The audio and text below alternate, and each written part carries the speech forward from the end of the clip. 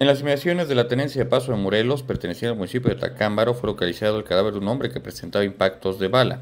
Algunas personas observaron el cuerpo tirado en las inmediaciones de la plaza principal de dicha localidad, por lo que dieron aviso a la policía municipal.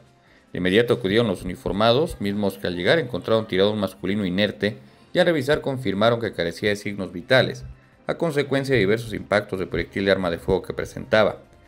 El sitio fue asegurado para evitar la contaminación de evidencias.